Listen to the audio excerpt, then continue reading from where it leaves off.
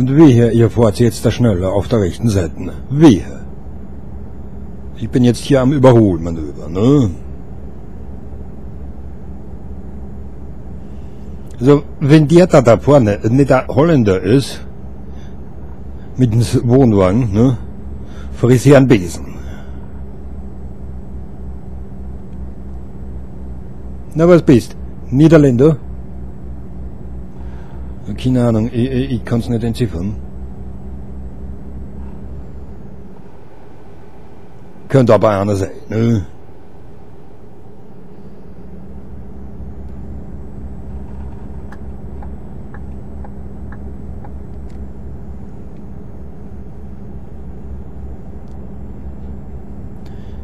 Ja, heute wieder mal auf. ne? Also wir fuhren also über die Schweiz, meine Herrschaften. Über Zürich und Bern äh, werden wir düsen. Ne?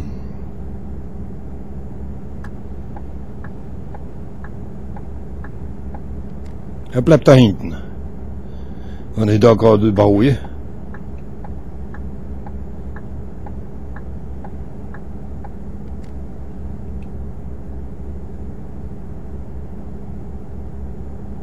Ich bin gerade so schön im Rollen.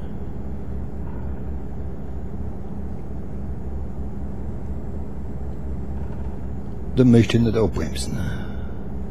Ist klar, ne?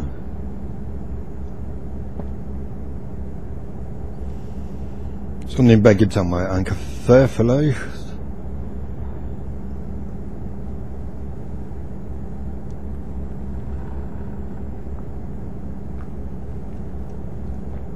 So, meine Damen und Herren, hallo und herzlich willkommen in der Schweiz.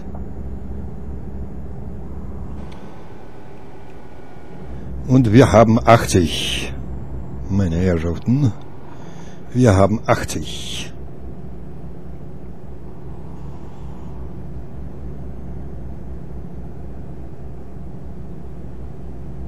Dann fahren wir die ja, ne? Okay, dann geht's mal da Richtung Bern rüber. Ri- Richtung Bern, Genf.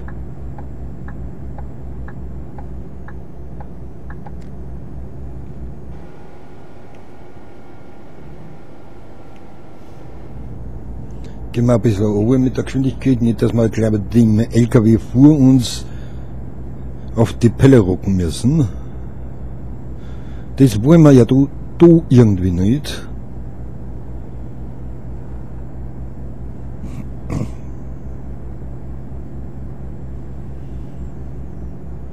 Der arme Kollektor wurden.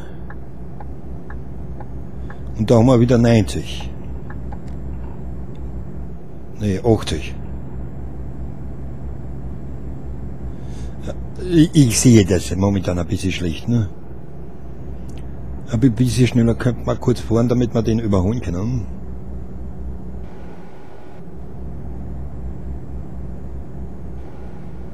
Also, müssen wir sowieso in der Spur bleiben.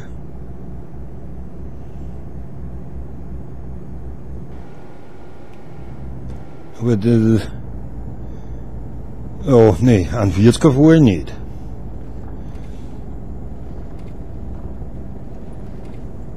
Kommen wir wahrscheinlich eh mit der Geschwindigkeit oben.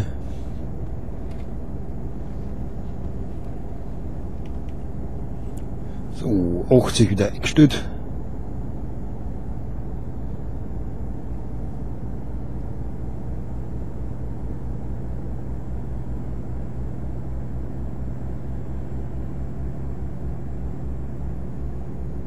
Und da ja, wechseln wir schon wieder Richtung Milano. Also wir kommen eh auf jeden Fall schön langsam hier in Richtung Italien, meine Damen und Herren. Was sehr schön ist.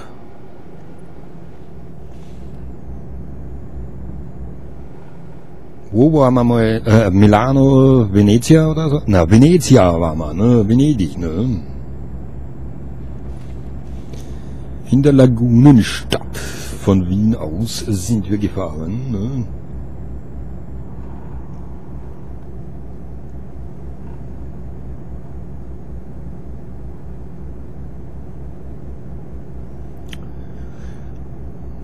Geschwindigkeitsmäßig für ein PKW ist er in der Schweiz 120 auf der Autobahn maximal erlaubt. 130 in Österreich. Und im Prinzip, äh, wenn ich mich nicht irre, in Deutschland überhaupt nicht, außer es ist extra angeschrieben.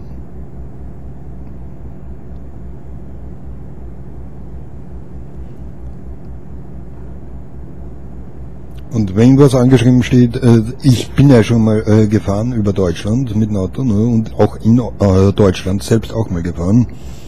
Bin ja äh, selbst schon mal äh, rauf nach Köln gefahren, also nach Bonn. Und äh, da war es meistens so, wenn eine Geschwindigkeit vorgegeben war, war es entweder 100 oder 130. Hat es diese Tafeln gegeben meistens ein Hunderter, weil, ja, unfallbedingt oder also, oder äh, nicht unfallbedingt, sondern sicherheitshalber bedingt.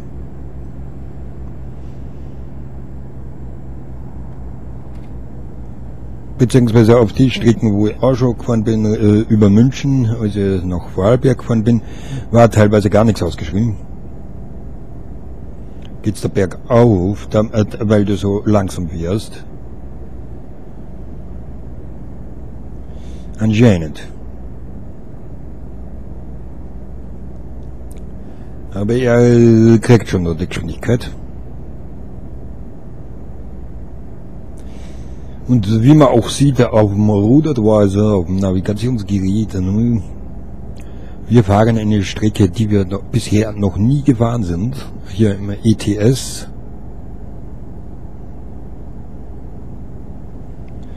Circa 13 Stunden Restfahrzeit haben wir noch.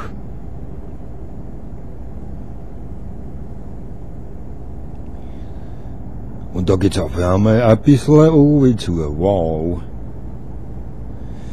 Also wir durchqueren auf jeden Fall gerade den Alpenbereich, ne? würde ich sagen.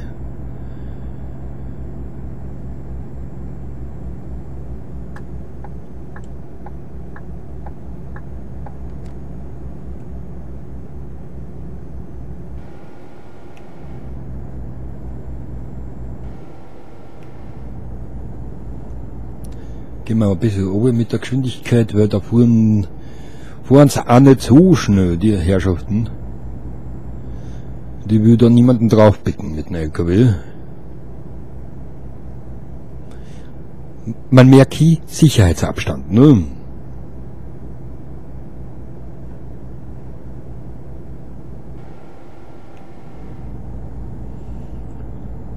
Man merkt hier, die fahren äh, auf jeden Fall langsamer als vorgeschriebene 80.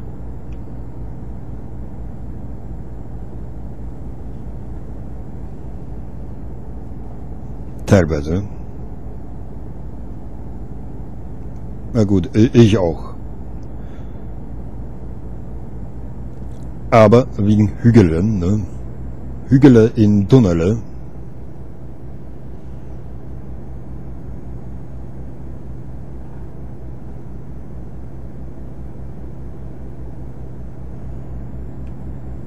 Probieren wir es mal mit der 80 wieder.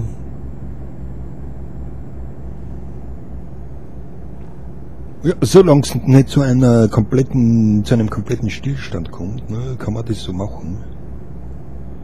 Meine Herrschaften, das kann man so machen.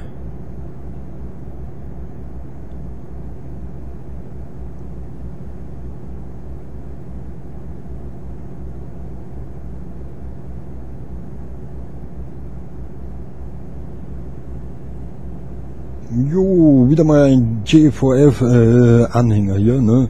Trailer von mir, ne? Ja, ich weiß, es waren schon ein paar vor uns, ne? Oder, oder, oh, oben Zug. Zug. Nimmt da schon wieder meine Arbeit, oh. So, Richtung Milano, Torino, ne? Ja, sehr schön, ne?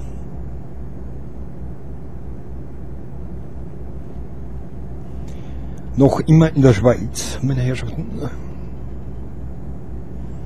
Die Schweiz hat auch ziemlich viele Tunnels, wie man merkt. Na gut, äh, sie hat auch ziemlich viele Berge, die zu durchqueren sind. Äh, und bevor man sie überqueren muss, durchquert man sie, die Berge lieber, ne? mittels Tunnel. Ist klar, ne?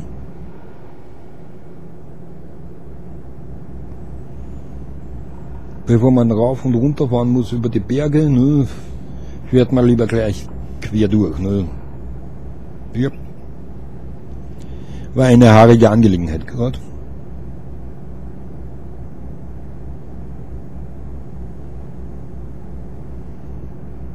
Also Richtung Innsbruck werde ich mit Sicherheit nicht fahren. Äh, Glaube ich nicht, nee. Weil sonst müsste ich da vorne rechts runter. Ne?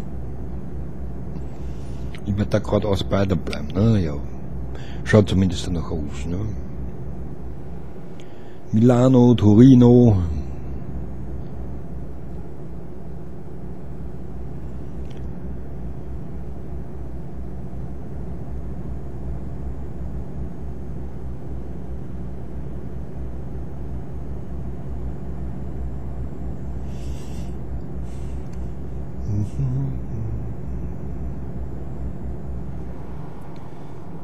Und den nächsten Tunnel, meine Herrschaften. Super, ja, yeah, gefällt mir.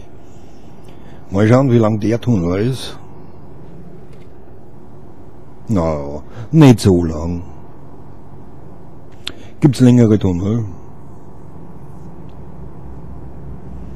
Zum Beispiel Österreich. Katschberg-Tunnel. Du glaubst, der hat nie ein. Oder der Du fährst rein und hoffst, dass du nach mindestens fünf Stunden rauskommst oder so, ne? Oder nach gefühlten fünf Stunden, ne?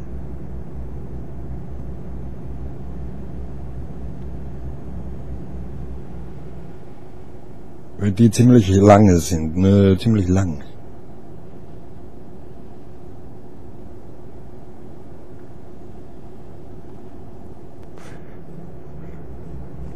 Und das Beste bei diesen ganzen Tunneln, zumindest in Österreich,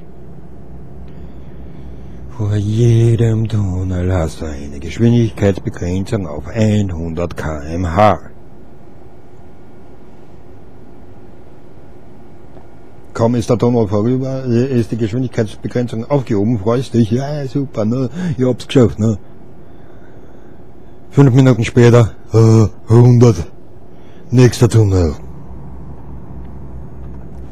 Und wenn dann auch noch Bauarbeiten sind, weil eine Tunnelröhre gesperrt ist wegen Renovierungs- oder wegen Wartungsarbeiten oder so, oder äh, wegen Umbauarbeiten oder ja, Renovierungsarbeiten, ne? 180, 60. Du kriegst so ein Gesicht. Vor allem, wenn der Tunnel auch noch äh, ziemlich lang ist. Wenn du auf der Autobahn äh, nicht 130 fahren kannst, sondern nur 60. Mit 60 dahin zuckeln. Wow. Die sind nicht leibend. Die ist absolut nicht schön.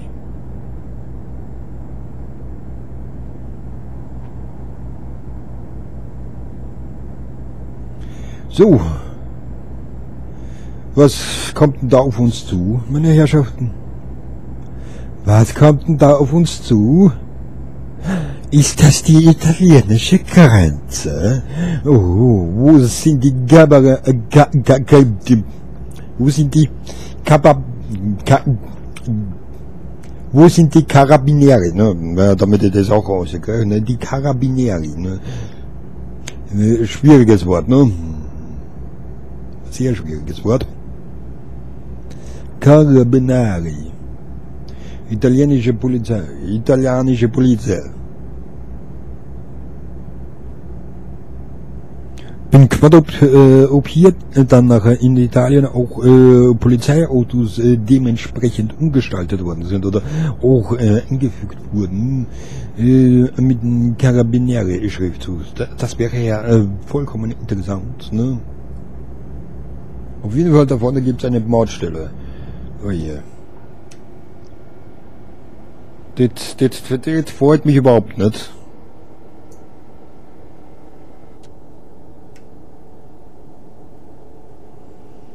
So, wo, wo muss man es denn da einordnen?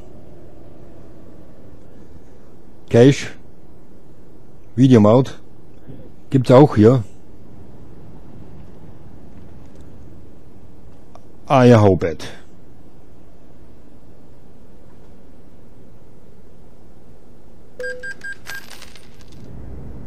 Okay.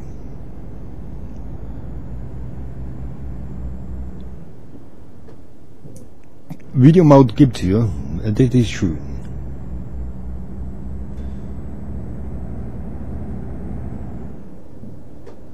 Also, ne, schalten sollte vielleicht da noch.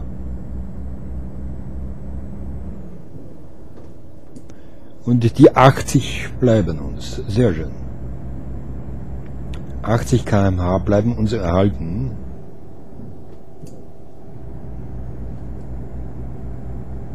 Jo, wo, in welche Richtung dürfen wir denn? Richtung Torino, ne?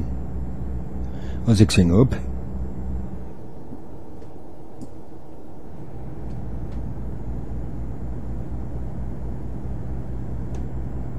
Ja, dann fahren wir Richtung Torino.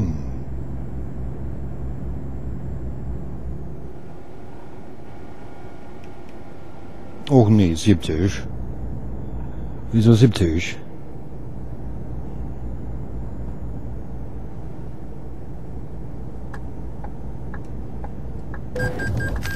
Ja, du bescheuerter PKW. Du hättest das alles können, dass ich da gerade komme.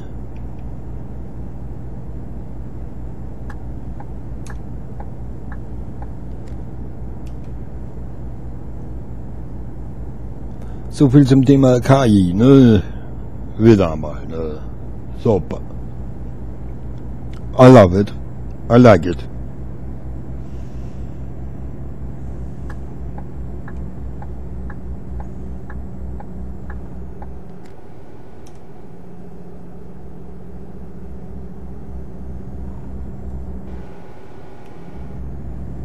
Achtzig.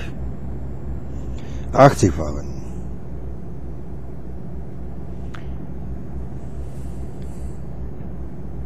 Cavetti.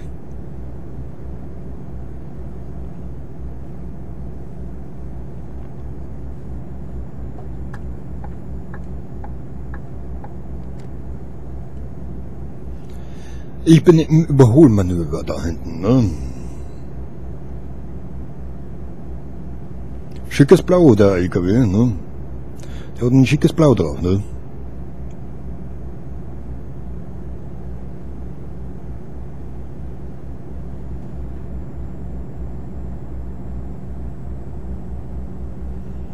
Wollen wir unser Radl geben oder was? Was heißt der erste Aufenthalt in Milano? Was steht da?